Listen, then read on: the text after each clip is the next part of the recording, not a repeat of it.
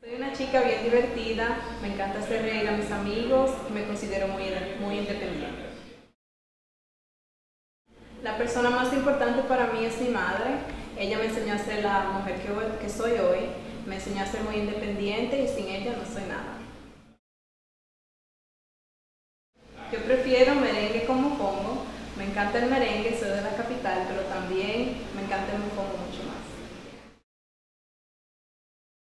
Y dice así.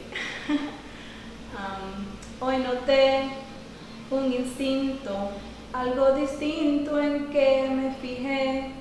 Esa mirada, esa sonrisa que de